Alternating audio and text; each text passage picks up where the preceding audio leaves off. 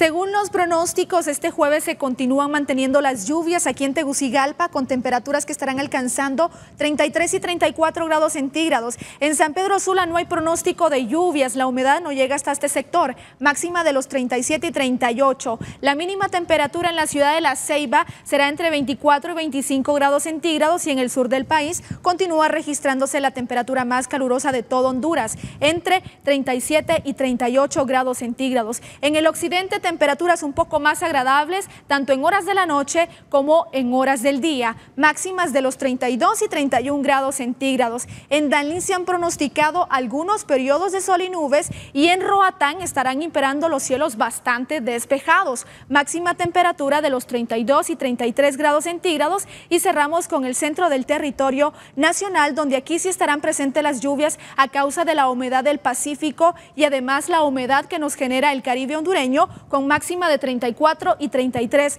grados centígrados. Así se van a estar manteniendo las condiciones del tiempo para estos próximos dos días.